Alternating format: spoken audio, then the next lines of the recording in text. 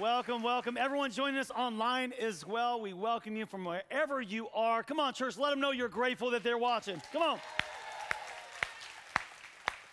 Let us know where you're watching from in the chats. We'd love to celebrate you wherever you're at. We're in part two of this series called Legacy. Legacy. We're studying kind of the themes of Nehemiah. If you missed part one, you got to go check that out. It's online, it's on YouTube. It'll catch you up to where we're at today. But this guy Nehemiah is just an amazing man of God, a man of destiny who kind of who left a legacy that's modeling something for us. This guy was in, let me just catch you up because it is important that we understand the context today.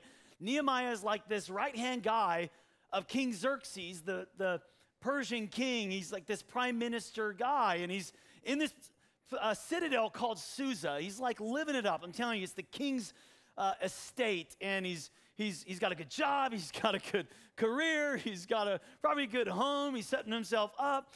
And the Lord calls him to move to Jerusalem to rebuild the, the walls of, of, the, of God's people and God's, in God's city. And which is kind of, it's crazy. It's almost counterintuitive because you think about leaving a legacy, right? Leaving a legacy. It seems like Nehemiah is leaving the thing that would be the legacy, right? In our mindset, at least, it's like, man, no way, he's got a great job. He's like, he's got a great home. He's got a great, he's got a lot of money. He's probably making some money. He's setting himself up and his kids up. Man, that's like, wow, what a legacy. That dude's like second in command and stuff.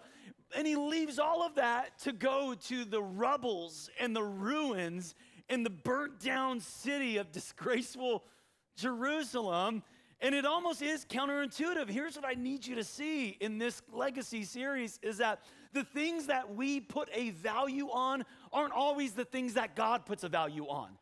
The legacy that God wants you to leave might not be the legacy that you are, it might not be the life that you are building right now. That God may have you remove your hand from some things. Oh, um, listen, God may have you remove some of your commitments, some of the energy and the drive and what you are trying to build so that you can actually build his kingdom. Amen. So Jesus said in Mark chapter 8, Jesus says, What good is it if, if a man has the whole world and forfeits his soul? What good is it? What profit does it if we would gain all of the status and the promotions and the prestige and and the stuff of this world, but the legacy we hand off. See, God, that stuff is not important in what's valuable to the legacy of our children and their children and the generations that are going to come through us and after us. The real legacy is a legacy of godliness. It's a legacy of God's people and a legacy of God's kingdom. And Nehemiah recognizes this. He's, he's comfortable, he's in a great position, he's got a great career, but his heart is broken for the things that are breaking God's heart, for God's people and God's kingdom. And he's, he's praying and fasting for four months. And we studied this last week. And after four months, he's like, he gets an audience with the king. And, and God has given him favor. We cannot underscore the amount of favor that God has given Nehemiah after four months of prayer and fasting because this king of Persia hears the request of Nehemiah to rebuild, listen to me, to rebuild an enemy nation's defenses, the walls of an, of an enemy nation. And he goes, Sure, Nehemiah. What else do you need? I need, I need like three years off. Sure, Nehemiah. What else do you need? I need like timber and stuff. And like, okay, let me write you some letters, whatever you need. Like, that alone is a miracle, you guys, that God opened the doors for his kingdom, his people, and to bless the work of Nehemiah because of the burden he had for God's kingdom and God's people. We're going to pick it up today in Nehemiah chapter 2. He's already had the audience with the king and has now been sent back to Jerusalem. Nehemiah chapter 2 says, I went to Jerusalem. Again, this is Nehemiah's hand, right? That's why it's called the book of Nehemiah. He's writing this, it's his perspective. I went to Jerusalem, and after staying there for three days, I set out during the night. And this is something common in Nehemiah. Not only does he wait four months to talk to the king, but he doesn't go there and start changing stuff and be like, okay, guys, let's just. No, no, he kind of he goes there and he prays and he waits three days. He takes a few others out with him. He says, I hadn't told anyone what my God had put in my heart to do for Jerusalem. There were no mounts with me except the one I was right. So it was no horses. I was the only one on a horse, he said. By night, I went out through the valley gate toward the jackal well and the dung gate. Uh, probably not a popular place in the city, you know? Just guessing. It's probably not a place that you'd want your home or your, you know. I live near Dung. That's where I live. Take a ride at Dung Gate, you know? Just saying. Examining the walls of Jerusalem, which had been broken down, and its gates, which had been destroyed by fire. Then I moved toward the fountain gate and the king's pool, but there was not enough room for my horse, my mount, to get through. So he says I had to, I had to get off. And I went up to the valley by night, examining the wall. Finally, I turned back and re entered the valley gate. The officials didn't know where I'd gone or, or what I was doing because, they, because as yet I had said nothing to the Jews or the priests or the nobles or officials or any others who would be doing the work. Then, after that, after days and prayer and research and looking, he says, Then I said to them, You see, guys, can't you see the trouble we're in? Jerusalem lies in ruins, and its gates have been burned with fire. Now, let me ask you a question. Could, did they not, could they not see what was happening around them? Were they blind to it? Did they not know that they were in ruins? No, they did. They, they were there. They could, they could see it. Come, he says, let us rebuild the wall of Jerusalem, and we will no longer be in disgrace. Here's what I want you to see, you guys that the ruins became regular to their life. That, that the ruins that they were living in became normative.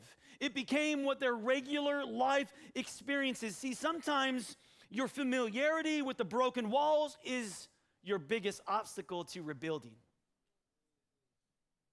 See, here is Nehemiah in Susa, an amazing citadel. He's got this outward perspective of what uh, life could be. And he steps into this messed up state Jerusalem is in. And he sees the brokenness in the, in the walls and the, and, and the, the ruins. And he goes, Guys, this is disgraceful. And here they are living among the muck, and they got so comfortable living in it that they couldn't even see, they couldn't even smell the smoke anymore because they were used to it.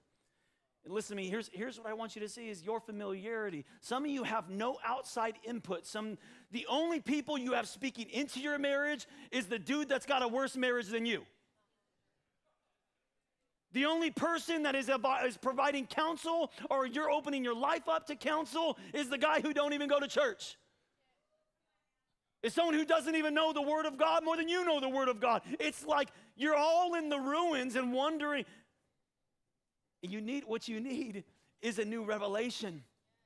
What you need is a new perspective, is your eyes to be opened to what could be.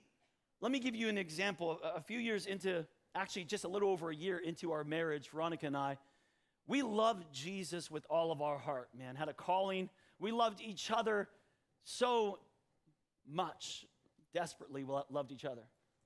But we did not know how to have a healthy marriage. We did not know how to have a godly family, like a God honoring marriage and family. Jesus was our Lord, but our parents were still in our genes. How you know what I'm talking about? Okay. So, like, like the habits of your history and your upbringing and what was taught to you, the legacy that you received, you're like repeating patterns now in your marriage and in your communication and in your family and in your conflict. And, and so we got just over a year into our marriage and we're going, man, like, this is not what I want. I don't want to say this to you. I don't want to. We had to keep apologizing for things that we didn't even want to say or didn't want to do. And so we had to invite an outside perspective into the ruins of our situation. And in a little over a year into our marriage, we did. We got some biblical counsel and advice, and we went to a counselor. And this counselor was, he was amazing. He affirmed our calling, affirmed our love for each other and for God. But he said, I need you guys to acknowledge something that what you guys experience when in your family, when you were raised, I need you to acknowledge something that it's not normal. It's not normal. Now, now he wasn't meaning like normal as in normative as, as like not everyone is doing this. Because in fact, 78 to 80% of Americans say that they grew up in a family that was dysfunctional.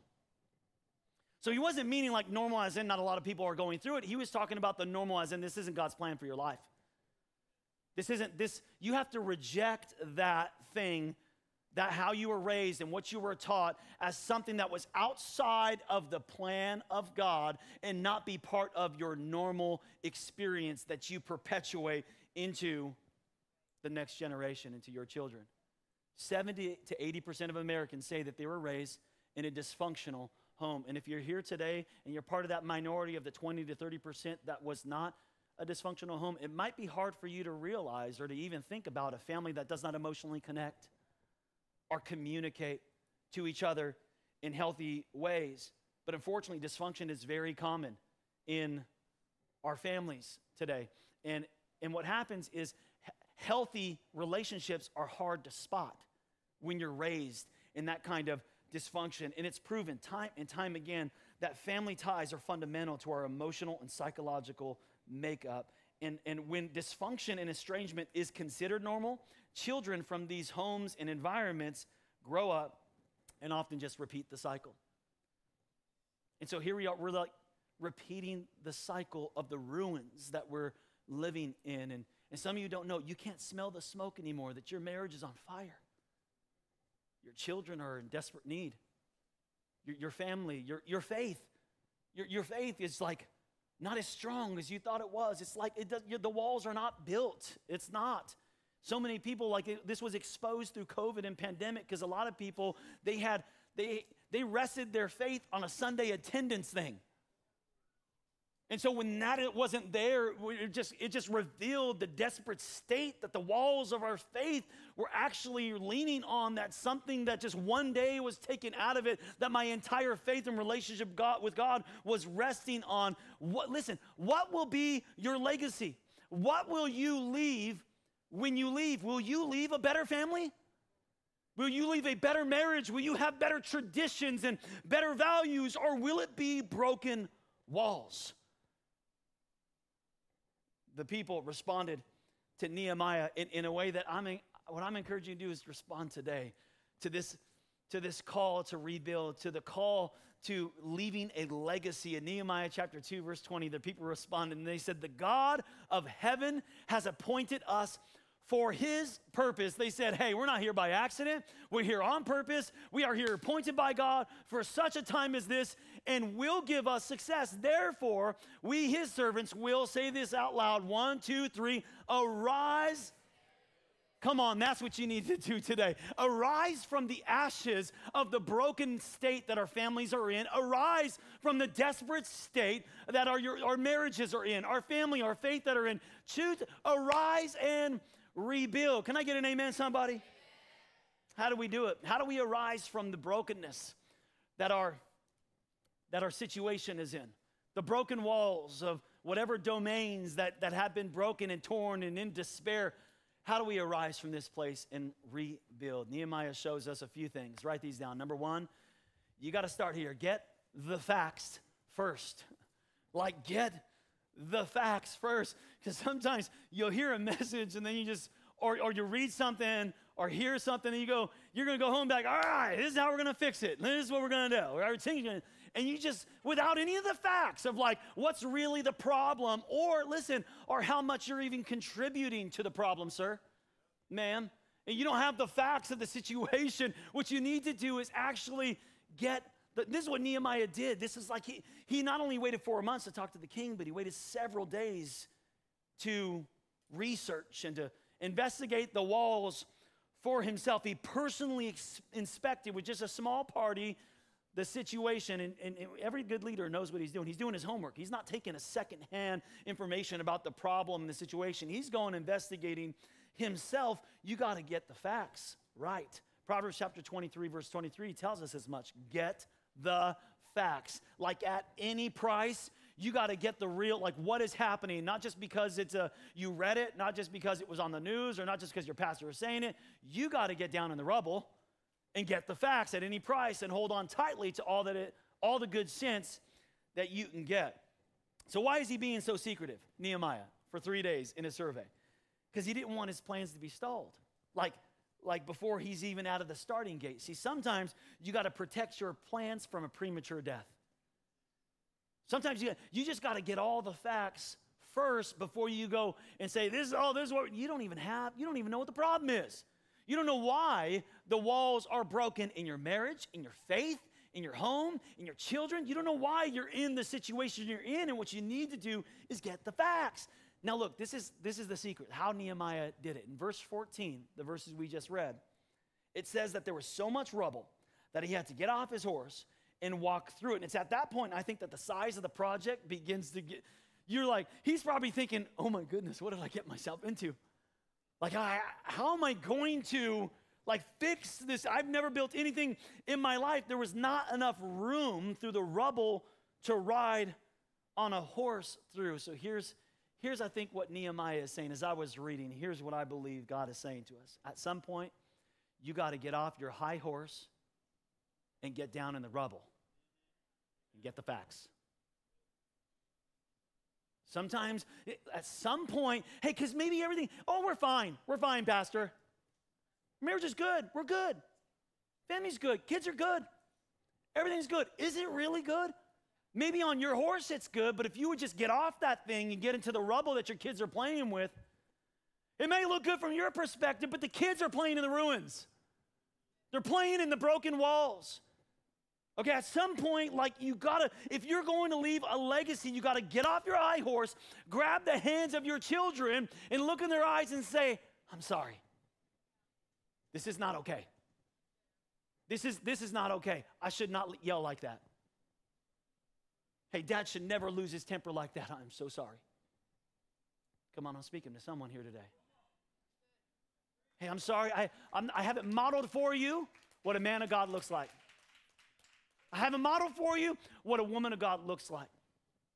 I have a model for you the way we're to love and communicate to each other. Hey, I'm sorry, that's not okay. It's not okay. You got to get up.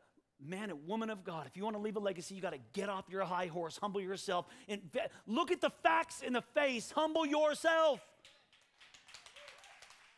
If you want to leave a legacy, you can, oh, I'm, I'm, talking about a legacy, you guys, a godly legacy, something that is different, that doesn't perpetuate brokenness and despair and dysfunction and toxicity to our children. Like, we're not gonna pass. If you want something different, get off of your horse, get down in the rubble, grab your kid's hands, and say, It's gonna change, and it's gonna start in me. I'm gonna change first. That's why number two, number two, you just got to choose to start.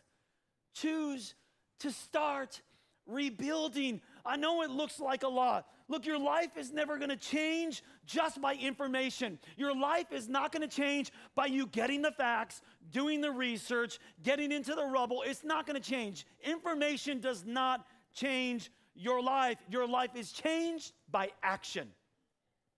By action. You got to do something with what God has revealed to you. And, and listen, all action, all action is, is fathered or mothered by a decision. When you decide something, your life changes when you decide something. The moment you decide to start rebuilding today, you can, listen, you are one decision away from changing your life, changing your legacy. When you decide something, it changes something. Whatever has stopped you before today, I'm telling you, like maybe it's fear that has stopped you from starting this rebuilding process, or time, or money, or energy, or awareness, or thinking you're not enough. Put that aside and just decide to start. Start rebuilding. But Jason, there's so much mess, there's so much junk, there's so much history. I understand that. But just start. Look, Zechariah chapter 4, verse 10 this is actually, a lot of you may know this verse, but Zechariah was a prophet during the time of the returning exiles. So this was, he was a prophet that was in prophetic office, making declaration during the context of what we're communicating. I just, it's just really cool because you know this verse, but you may not apply it to the context of this stage of, of exile and the returning from exile. Here's what Nehemiah or Zechariah said. He said, Do not despise these small beginnings. For the Lord rejoices just to see you get started. So here's what he's saying. This is it's the Lord just rejoices in seeing the temple getting rebuilt and the walls getting rebuilt. And I understand it looks like a lot and it looks like you can't do it and it looks like it's impossible, but God just loves it when you pick up one brick and get started. Just one brick. Just choose to get started today. Like start rebuilding. I know it's hard to clean up the mess and leave a legacy worth leaving. If it was easy, everybody'd be doing it everybody would be leaving a godly legacy onto their children, but they're not because it's, it's not easy. But everything that God has for you is not easy. Everything, like everything God has for you is uphill. Everything worthwhile is, is uphill. Everything you want, everything you desire, everything you want to receive from life is uphill. The problem is, most of us have uphill hopes uphill dreams and down, downhill habits. So, hey, and it, and it don't take any energy at all to go downhill. You can roll downhill. You can slide downhill. You can slip downhill. It doesn't take any concentration or effort or determination or skill set. It doesn't take anything to go downhill. It happens naturally. But everything God has for you is uphill. And to go uphill takes determination. It takes consistency. It takes energy. It takes drive. It takes you staying the course and focusing on what lies ahead of you, not the ruins that your current situation is, but looking ahead of it and saying, I'm going to keep going because this wall is getting rebuilt in Jesus' name. Get to work. Decide today. Nehemiah chapter 4, verse 6 tells us Nehemiah says, So we built the wall and all the walls are joined together to half its height. So here they are. At this point, Nehemiah 4, they're halfway. Why? For the people had a mind to work. I love that. They had a mind to work. If you want to leave a legacy, you have to have a mind to work, not a mind to complain, not a mind to criticize.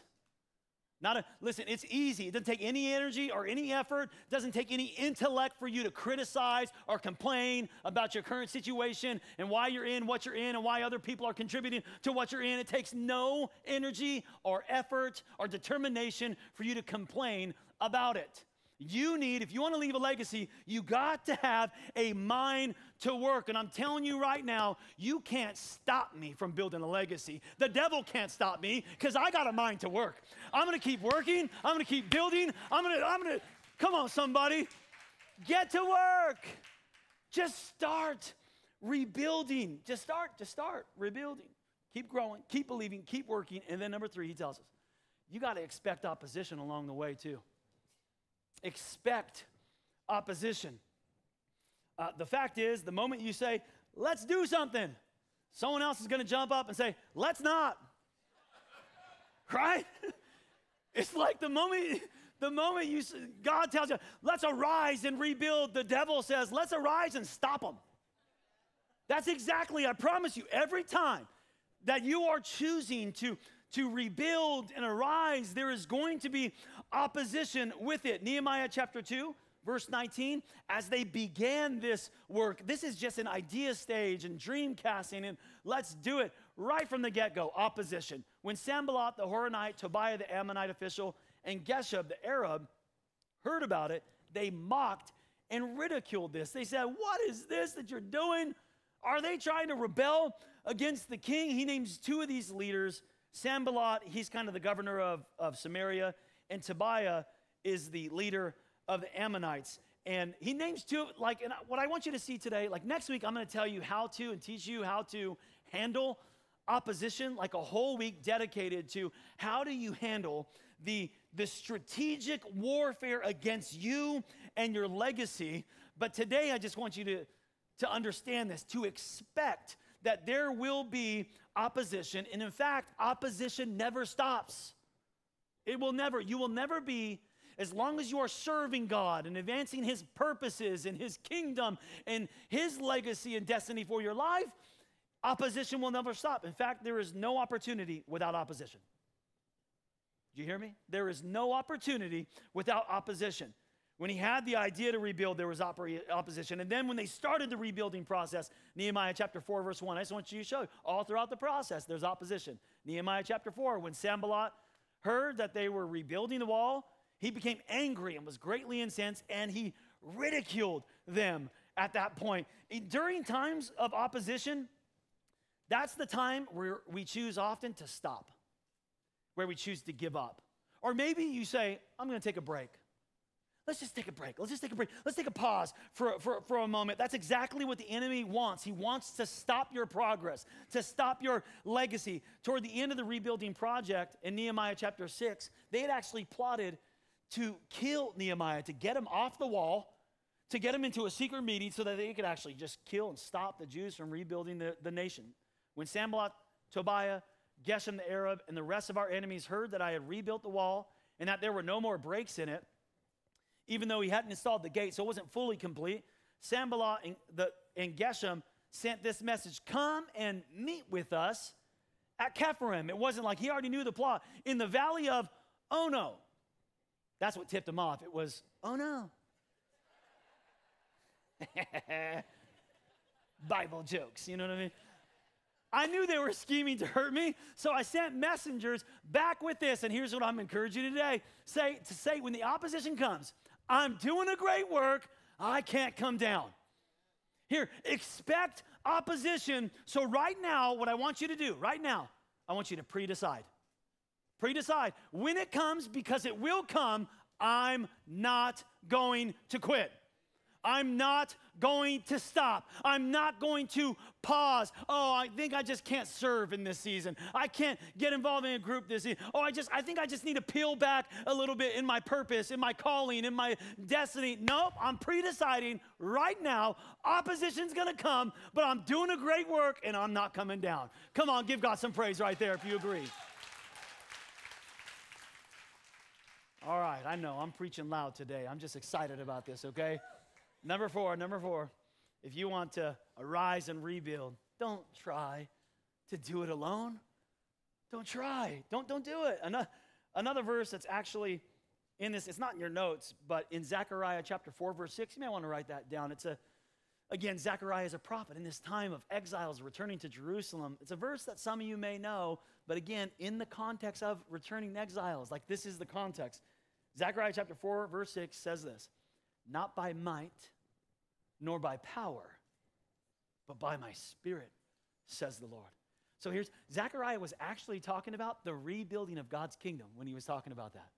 When he said that, and that verse applies to a lot of situations, not by, by, not by power, but by my spirit, says the Lord. But here's what Zechariah, in the context, he was saying, Look, I know there's a lot to rebuild. I know there's, it looks like it's dark. It looks like the world is against us. It looks, it's so discouraging. It's so broken and messed up. But listen, it is, you're not going to do it alone. It's not by your might, it's not by your power, but it's by God's Spirit, says the Lord. Don't try to do this alone. You cannot leave a godly legacy without God's help.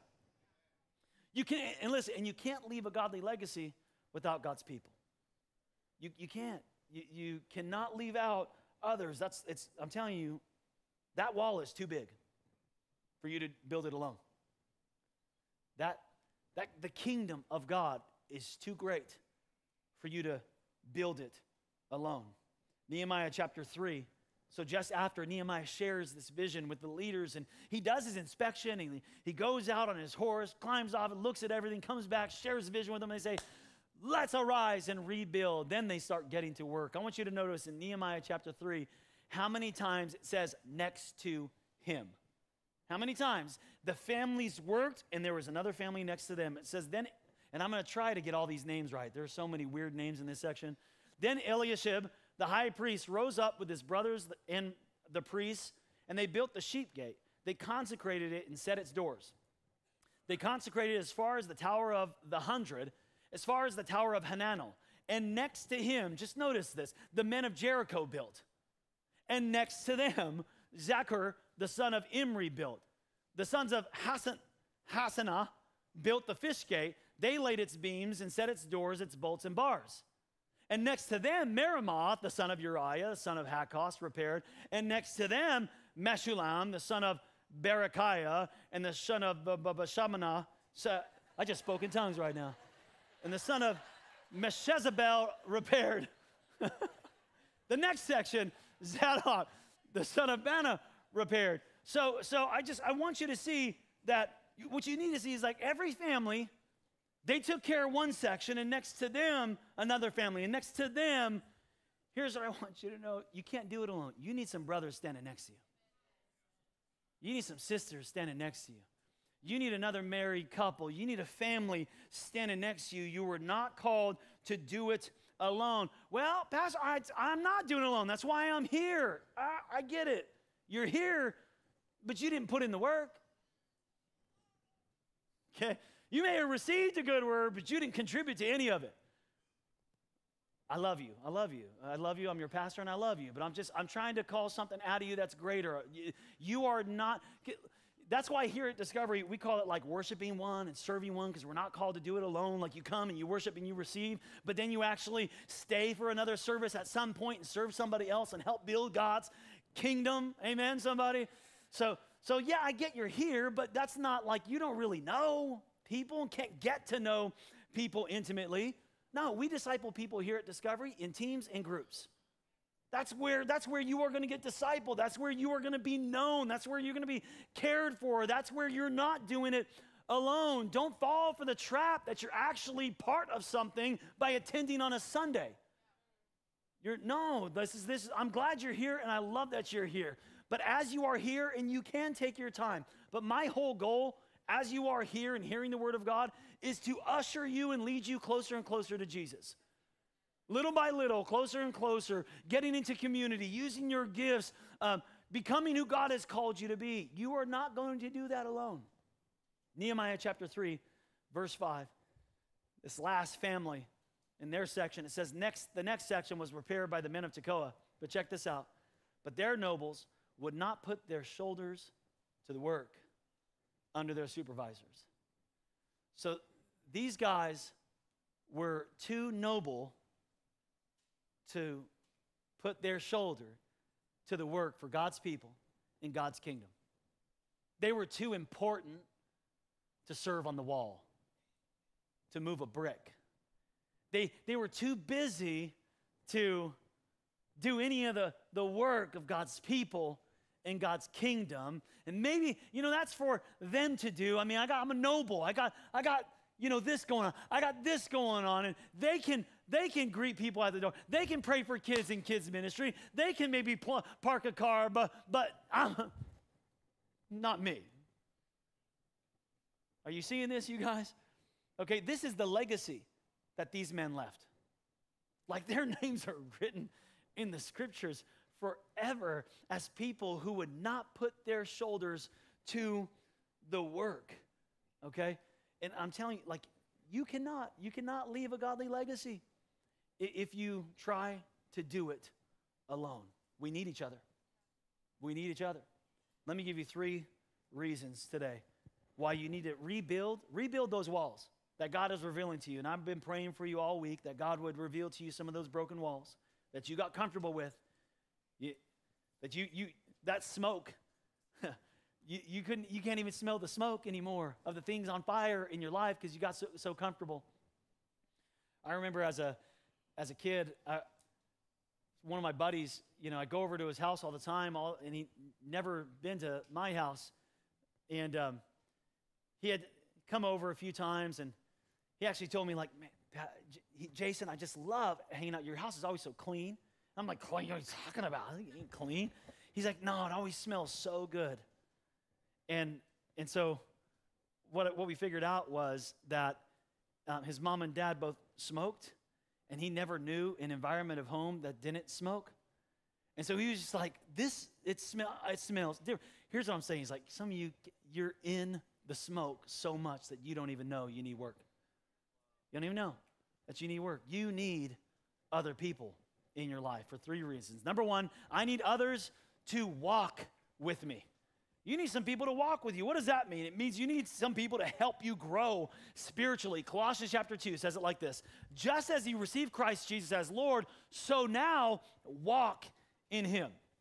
You know, the Bible compares our life to a walk often. Why? Because you're on a journey through life. You're not in like a standstill. You're not where you you're, where you used to be, and you're not where you're going to be. You're on a you're on a journey. And throughout the Bible, we're encouraged to like walk in wisdom, to walk in the Spirit, to walk in obedience, to walk as Jesus walked. All throughout the scriptures, it tells us how to walk. But one of the key ways that God tells us how to walk is when He says, Don't walk alone. You are not called to walk alone through life. Proverbs 28 28 says, It is foolish to follow your own opinions, like your own thoughts. Be safe and follow the teachings of some wiser people. Get some wise counsel around you that isn't in the same mess, the same brokenness. Get some wisdom around you in your life. Don't walk alone. Don't do it alone. It's not in your notes, but you may want to write it down because community is God's answer to loneliness. So, so what's the antidote here? What's the antidote to this, this you know, others walking with me? It's, it's two groups. It's a physical family and a spiritual family. Like you need a physical family. I'm burning up up here. The AC's turned off. Someone better help me out. Come on, somebody. These airs are going to get turned on in Jesus' name right now. Come on. AC flow in Jesus' name. And I'm going to call that out before I start sweating like a pig up here. In Jesus' name. Hallelujah. Okay. Mm. Okay. Two groups your physical family and your spiritual family. Listen, your physical family is the one you got when you were when you were born, right? Your spiritual family is is the one that's going to be with you forever.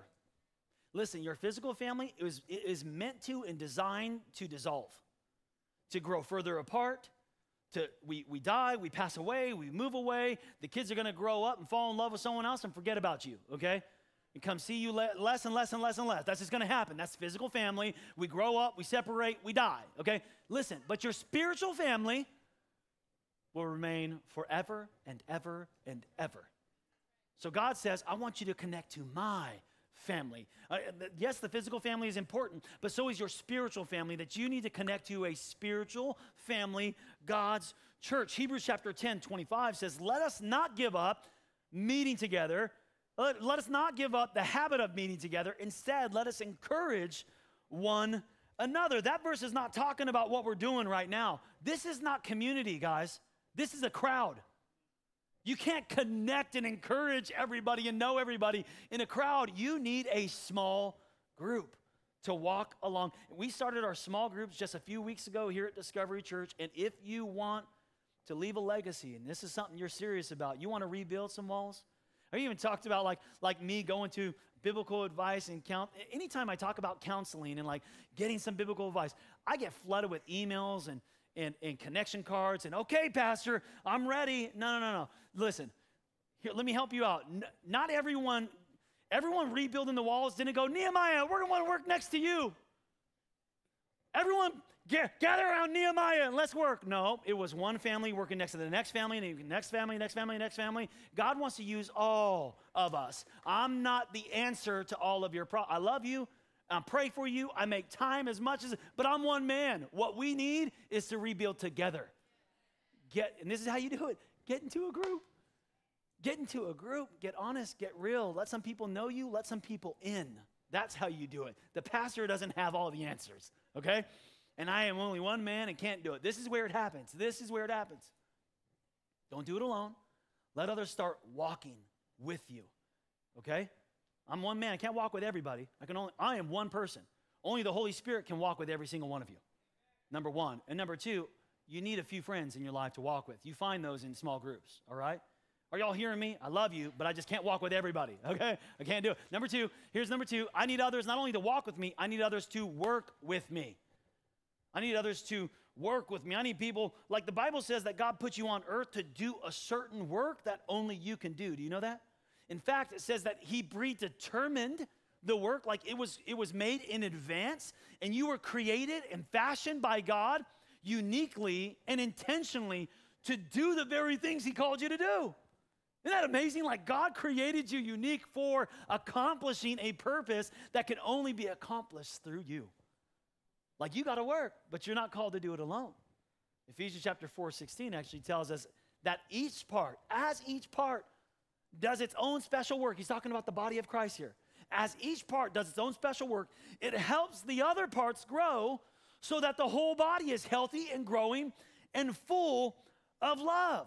Like we do it together. That's why, not in your notes, write it down. Community is God's answer to burnout. Community is God's answer to fatigue and, and terror. Like, like a lot of you today, like you are so tired. Some of you are, you came into this place exhausted. You know why? Because you're trying to do it alone. You're trying to carry it all alone. You're trying to figure out the answer alone. You're trying to get the solution alone. In fact, some of you, you're carrying your, you're the only one that knows the problem. No one else knows how broken the walls are. Only you do, and you're carrying that all yourself, and it's tiring and it's exhausting. Community is God's answer to that burnout because God never meant you to go through life walking alone and working alone. You need to be in relationship with other people. Ecclesiastes chapter 4, verse 9 says, Two people are better than one because they get more done by what? Working together. They get more done. Everybody knows this. You get more done as a team than as an individual. A snowflake is frail by itself, but uh, you get enough of them to stick together, you can stop traffic, right? Okay. Number three, that went over some of your head, all right? Number three, snow. What's snow? Uh, I need others not only to walk with me, work with me, but I need others to watch out for me. I'm talking about people who will defend me, who will stand up for me, who will protect me. Philippians chapter 2, verse 4 tells us to look out for one another's interests, not just your own. If you want a counterculture verse, that's it right there. Like, because every one of us, like we are, we are conditioned in our American culture to just worry about ourselves. You, do you remember Neighborhood Watch? That used to be a thing. You see neighborhood watch signs and stuff. And whenever you see the neighborhood watch sign, they're still around a little bit. But when you see a neighborhood watch sign, it says that's a community that's looking out for one another, right? And sometimes, like if you're going on a vacation, maybe a long vacation, you, you probably tell, if you got a good relationship with your neighbors, you tell them, like, hey, I'm going on, going to be gone for a couple weeks. Can you watch out for my house? Can you keep an eye out for, for my, my stuff? Like, like, can you watch out? Uh, but my question is not just is anybody watching out for your stuff? My question today is anybody watching out for your soul? Like, your, your soul is a whole, a whole lot more important than your stuff. Is there anybody in your life who is helping you stay on track spiritually? Is there anybody in your life who loves you enough to say, I'm not going to let you stay discouraged? No, I'm not going to let you give up. No, no, what do you mean? You're how, what's God saying to you in the word? You're not in your word? Come on, man. Hey, I haven't seen you for a little bit at church. I haven't seen you for a little bit at groups. No, you need to. Don't you're not giving up. You need some people who are watching out for your soul because there is an enemy that is real. He seeks to steal, kill, and destroy. And alone we are no match, but together we can defeat him. In Nehemiah chapter 4, they had a plan for the opposition, for the opposition against them. Nehemiah He's like, he's, he knows that people are out to get him. The enemy is undermining the work of God's kingdom. And he said to the nobles, the officials, and the rest of the people, The work is extensive and spread out. We're widely separated. Here's what he's saying You're working on this wall, you're working on that wall. I mean, your family's over here in community and doing stuff, building God's kingdom, but I'm over here and doing stuff. And we all have our unique role, our unique fit, working on different things, and it's widely separated from each other along the wall. So here's the plan. Whenever you hear the sound of the trumpet. Whenever you hear, and the trumpet was the call for help, join us there, and our God will fight for us. So here was the plan. He said, Look, when the enemy comes, when I ask for help, when I say, Hey, I'm getting depressed, when, when, when, when I get attacked, when, when, when my marriage is under fire, when, I, when I've lost my job, and I say, can, and when I blow the trumpet, will you rally around me? Can I get you to rally around me in my time of need? Because I can't do it alone. Here's, here's the thing, though, you guys, you need to see. No one's coming if you don't sound the trumpet. No one's coming if you don't let, so if you don't blow, hey, this hurts. Hey, I'm suffering. Hey, my marriage. Hey, my kids. Hey, my financial situation. Hey, my health. Hey, like I'm battling with some thoughts here. Can you rally? Can you rally around me? Because I can't do this alone. Some of you, you're here today and the enemy's been beating you up and you even feel defeated today. But this is another reason why you can't do it alone, write it down. Community is God's answer to defeat. It's God's answer to, to the defeat that we experience alone and isolated without any trumpet to sound, without any friends or community or brothers or sisters to say, Come to my aid. Let the Lord fight for us together. Community is God's answer to defeat. And I promise you, if you don't get it, you can't do it alone. If you try to do this alone, you will lose. Let me say it this way you will never leave a legacy if you try to do it alone. You will never build the walls to at least the glory of those walls that God has called his kingdom and his kingdom citizens to have. The glory of his people, the glory of his kingdom that you'll never see it if you try to build it alone. Ecclesiastes chapter 4, verse 12. A person standing alone can be attacked and defeated. And I know I've been praying for you this week. Some of you, that's you. You're alone. And you're feeling attacked and you're feeling defeated, and you don't need to be. You don't need to be. Because two can stand back to back and we can change the we can change the narrative, man. We can change the outcome of this thing. We can conquer together. Three or even better, for a triple braided cord is not easily broken. Come on, will you bow your heads? I want to pray over every single one of you today because we're going to make a choice. A choice today to begin with every head bow, every eye closed. You're here today and and and maybe you thought it was okay, but you realize there are some things that are just not okay. They're not okay. You got comfortable in some areas. You got complacent, maybe indifferent in some areas, but there is broken walls. There is things on fire in your life, and you need to get off that horse. God, right now, we're humbling ourselves. We're lowering ourselves. God, we need you. We need your help to restore the walls of our family, of our marriage, of our faith, of the kingdom. God, help us. Help us rebuild. Give us success in rebuilding. God, we're going to decide today. We're choosing today to start. We're going to start today and rebuild. And it's going to start right here in me. Do it in me first, Jesus. Rebuild me. Change me with every head bowed and eye closed. If you've never said something like that, invited Jesus to change you. That's actually what, like, salvation is a, a, a first a prayer of saying, Jesus, I surrender. I surrender. Some of you have never said that before. You've never given Jesus your life. That's what salvation is, where you just give the control to Him. The Bible says that if you confess with your mouth that Jesus is Lord and believe in your heart that God raised Him from the dead, then you shall be saved. That's it, man. That can happen. You get a fresh start right here and right now. Some of you have never made that decision, and maybe you're going to make that for the very first time right here. Some of you need to make it again right now. I'm not going to have you come up to the front or single you out, but I want you to just, in just a moment, I'm going to count to three, and I'd love for you to lift your hand if you're in the house. If you're online, just type in I need Jesus on the count of three if you're ready to start rebuilding and give Jesus the control of your life today. Come on, one, two, three. I surrender, God. Lift up that hand. I need Jesus. I need Jesus. I surrender, God, all over this place. Yes, yes, yes. Amen. Amen. Amen. Amen. Amen. I want a different legacy. I want a different outcome. I can't do it alone. I'm not going to try to do it alone. Jesus, I need you. Amen. Amen. All over this place. Thank you, Jesus. Thank you, Jesus. Hallelujah. Go ahead and put your hands down. Will you pray with me right where you are? Say something like this. If that's you today, and you're ready. Say, Jesus, forgive me for my sins. Today, I surrender the control to you. I give it, God. I declare that you're my Lord, Jesus.